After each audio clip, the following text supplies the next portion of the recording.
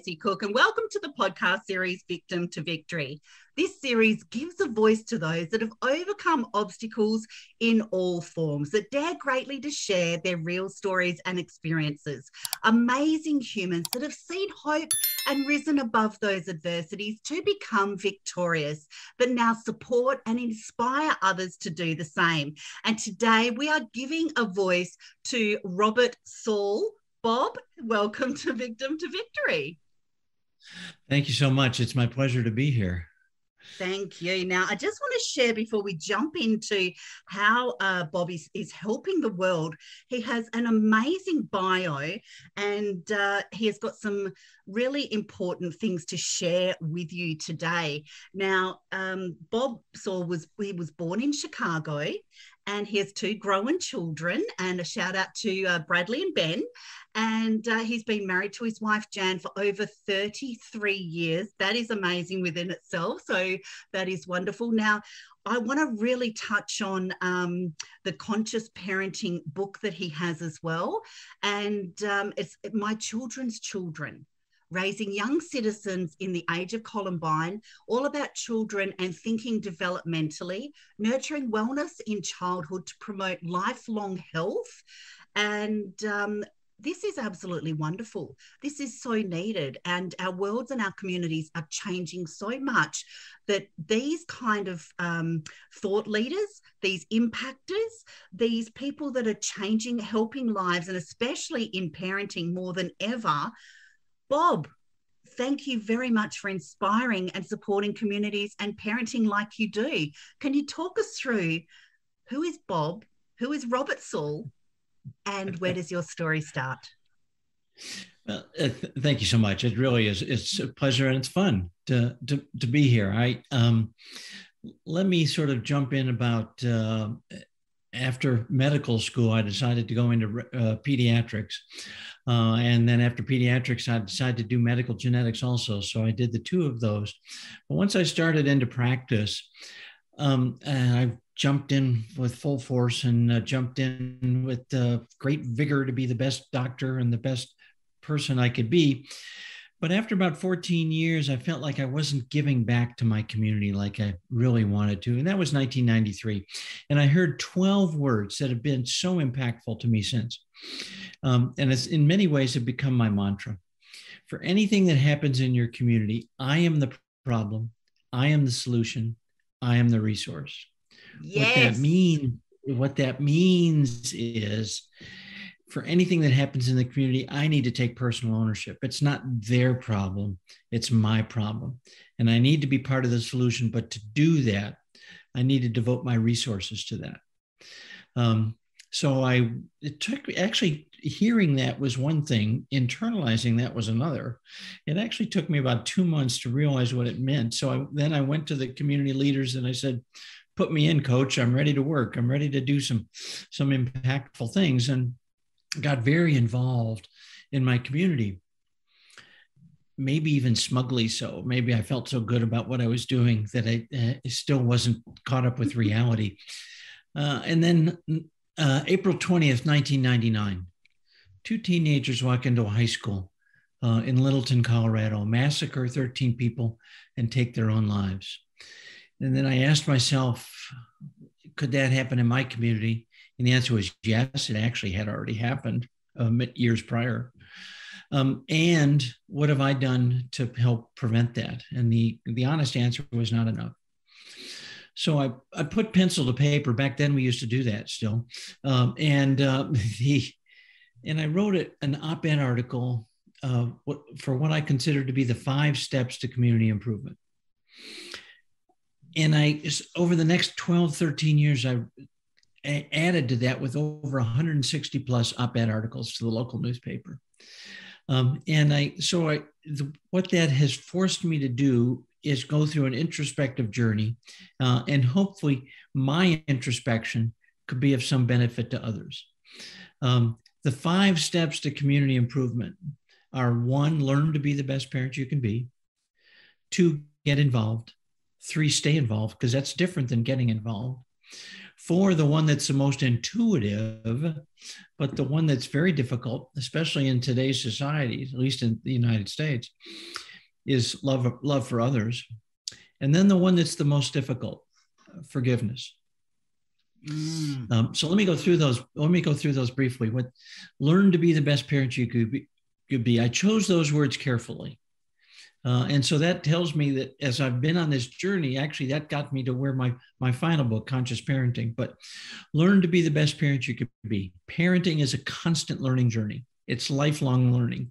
It's not innate. It it's a it it it, it takes work you need to learn, you need to understand, you need to have the ability to alter.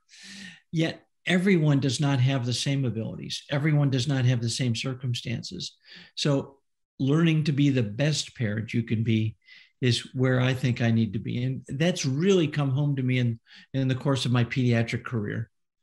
Um, you know, due to educational circumstances, socioeconomic circumstances, a variety of things, uh, their social emotional status, everyone is at a different place uh, in terms of parenting. So my job is not to tell them what to do. My job is to hopefully enable them or empower them to do what they can do. In many ways, it's to gently peek behind the curtain and, and see what I can do to be of some benefit to them. Um, so that's been a, a, uh, and I go through in the first book, My Children's Children, Raising Young Citizens in the Age of Columbine, I go through some of those steps. Getting involved is so important. You need to get involved. You need to be that positive example for your children. You need to be, if you're going to say, I am the problem, I am the solution, I am the resource, you need to get involved.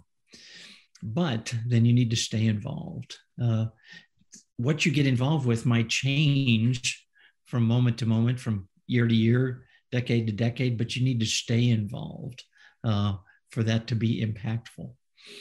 Love for others, again, um, whether you're a person of faith or not a person of faith, uh, that's sort of why we're here on the planet. Uh, is to is to care for others, to uh, care about others, to empathize with others. Um, but then the one that I've really been on the, the journey with is learning about forgiveness.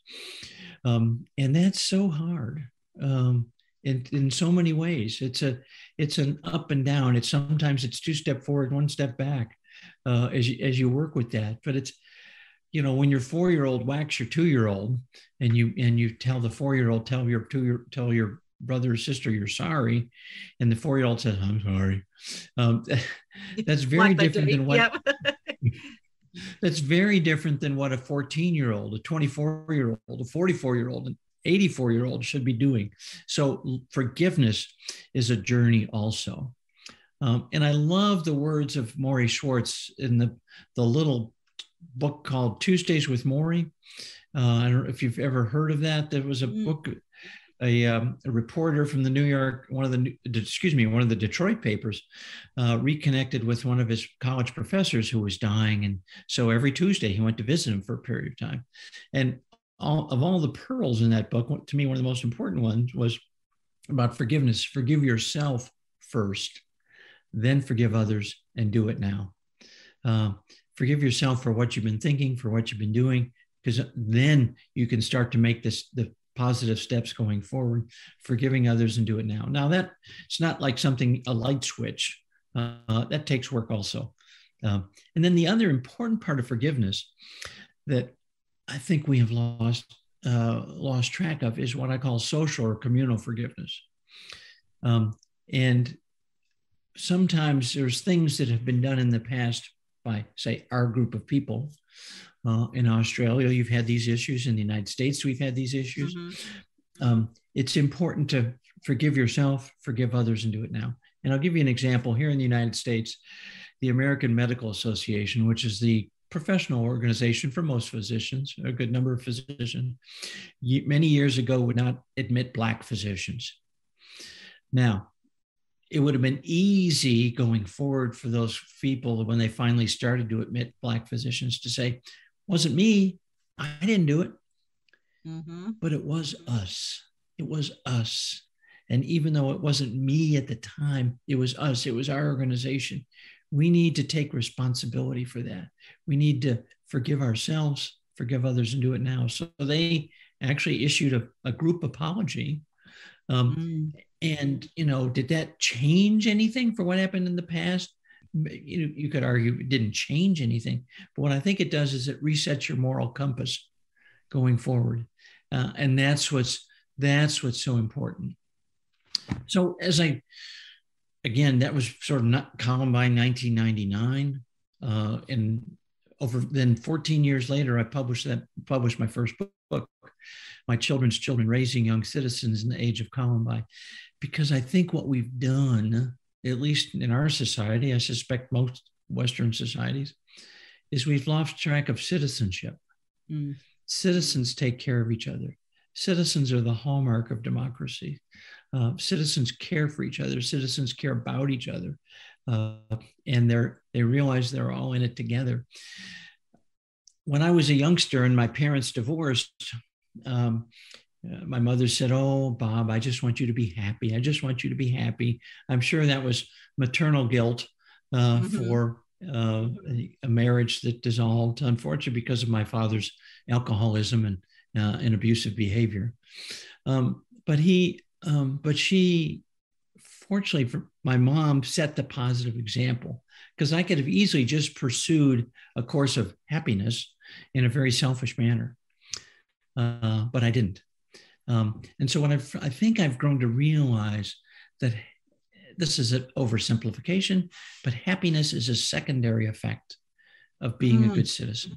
Yes. Um, so if you take care of if you take care of other people, you take care of, of those around you, those that make you feel comfortable, those that make you feel uncomfortable, um, then you're then you've taken a giant step towards citizenship uh, and um, being that person that the society needs going forward.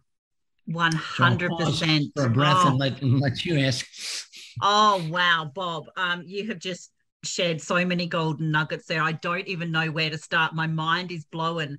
Uh, you're the problem, you're the solution, you're the resource. Um, that is a very powerful, very, very powerful. Um, and let me screen that from the roof, roof, rooftops um, as well alongside you. You are the problem, you are the solution, you are the resource. And when you um, shared uh, what you just said about um, actually being a citizen, you know, uh, putting yourself in someone else's shoes, uh, thinking it from another person's perspective. Maybe even just stop and take a breath for a moment before you uh, comment because people are walking around and we don't know what they're walking around with. Uh, we've all got problems, uh, we've all got uh, solutions inside of us as well, but we don't know where that that person is in that journey to find themselves. And i think it was so powerful when you were mentioning those types of things. And um, i fully d- agree and um, and fully full support as well. We have to put our own oxygen mask on first like they teach us on the aeroplanes don't we? If we don't look after ourselves how can we look after somebody else? If we don't pour into ourselves then how can we pour life into somebody else as well? So, really having a look at our mental state, our physical state, what we're eating, what we're listening to, um, you know, those, those, uh, what we're watching on TV. And I liken it a lot of the time to um, crabs in a bucket, Bob. You know, if your crabs in a bucket, one tries to get out and the other crabs pull it back down. They go, No, it's safe down here. Don't go out. You know, listen to us. We're your safe zone. I just want to peek over and see what it's like. And that's okay okay as well because um, we can't keep people down. We have to support people who want to go and explore. So, what you were saying was just so powerful. And I know how impactful your books are in helping communities as well. And especially with being a pediatrician, um, working in that space as well. Uh, what would you say, um, if you don't mind if I ask you a question, what would you say would be the number one biggest thing that stood out in parenting for you? And I know you can probably find this in your books as well. So I encourage people to go and purchase the books and we'll share where to do that from. But what would you say the top thing um, that mo- mainly stood out was the most common across the board to you? Um, I, I think. Um, boy, it's tough to come up with a number one. Yeah, um, I thought it might be.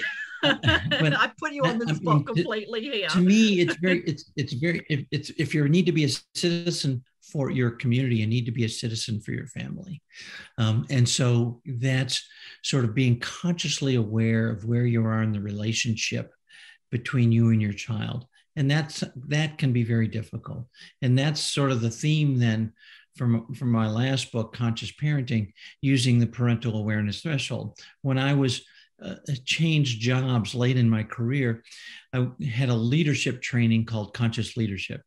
And they talked about a line. And when you were above the line, you were open, you were receptive, you were ready to learn. When you were below the line, you were closed, you're defensive, you're always right.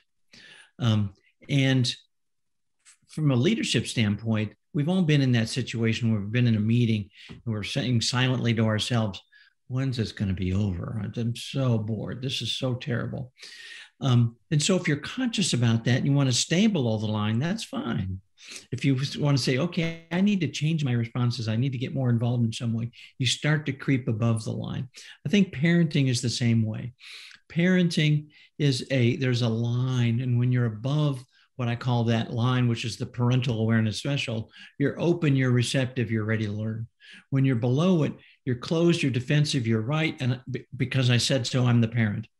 Um, now, again, we're human, we're parents, we're going to be above and below the line. The point is being aware of where you are.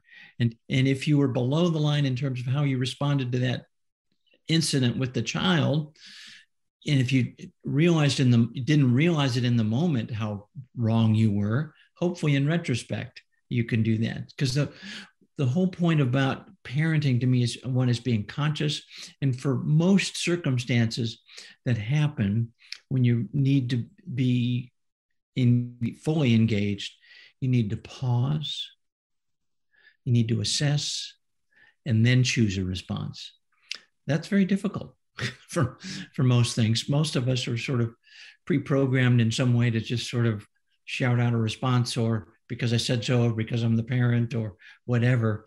Uh, but if you're really consciously aware of where you are in your relationship with your child, I think you can build and grow so much more uh, than just having a knee-jerk response. Um, and I'm sure and, you, I'm sure you cover that in the book, but do you think it's kind of social conditioning and we're just practicing our environmental behaviors when we've actually grown up as well? Oh, I yeah, I I think so, and then that's why I don't think parenting is an innate ability. Uh, I I talk about in the book. I think you need a map. Uh, I think you mm. need to look at the signposts along the way, uh, and you need to uh, find a trusted figure, hopefully your pediatrician, uh, in some ways, in terms of learning about development, learning about parenting, because you can't walk into your pediatrician's office and in and in a five five minute uh, dissertation learn about how to be a parent. It's a journey, uh, and so you have to be ready ready to be on that journey, um, and just in, be engaged. I think one of the the other corollary to what I was talking about is being conscious is listening. Of course, that is anywhere, anywhere in society, hopefully that, but most of us are, are not as engaged with their children as we should be. Look them in the eye, stop doing what you're doing, and listen to what they're saying. Um, and that's just so important in today's society where everyone has their handy dandy phone uh, nearby and are more likely to glance at the screen than at the human being in front of them. Um, mm. so it's we need to be be fully engaged. Yeah, we have a rule at our um our dining table every night when we have dinner. No phones at the table. That's it. Oh, Just yes. for 15 minutes, we're going to eat tea and we're going to talk to each other. Because it, it it worked in my day and I can't see why it still can't keep working now. And I tell you what, even if it's for 15 minutes, even with busy families, and I'd love your take on this as well, Bob, but uh, just that human interaction, like you said, just looking people in the eye. How was your day? Really simple conversations just to to stay connected, um, to let them know that they're seen, that they're heard, that the doors open if they do have something going on that they want to come and talk to you about as well. W- would you say that um, uh, having that that family time where you're fully aware and you you have just that quality connection even in busy busy lives what would you say the impact of that would be on families well, I think I think that would be huge because it, it it's interesting if if a family could look at the issues instead of I am the problem, I'm the solution, I'm the resources.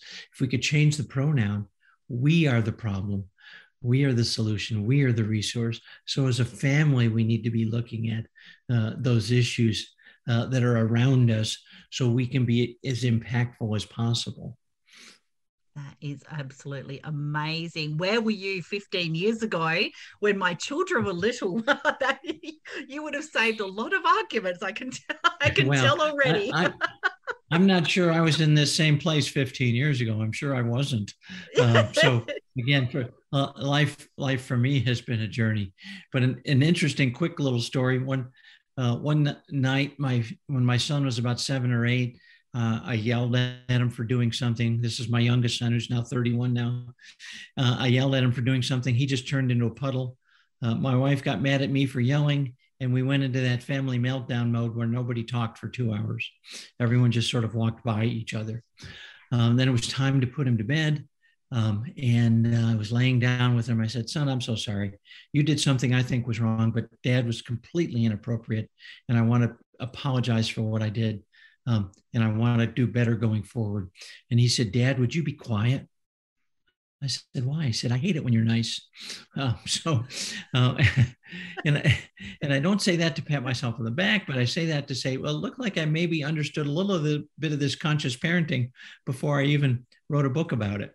Um, so it's it's um, wonderful. But that it's uh, so it's, wonderful. It's work. It's work. It is, and it's a never-ending uh, work in progress and a never-ending journey um, as yes. well. We're we're always learning, even as parents, and sometimes we get it wrong, and that's okay. It's just what we're going to learn from it, isn't it? Absolutely, and that's why we become grandparents to, to definitely to try to do better going forward. and if you were to leave the audience uh, with a message today, what would that be? Um, of the, I, I, think of the five steps to community improvement. Again, the number one for me would be uh, practicing forgiveness. If we're going to reconcile, if we're going to move forward as individuals, as families, and societies, we need to understand and do better on our forgiveness journey. That is absolutely wonderful.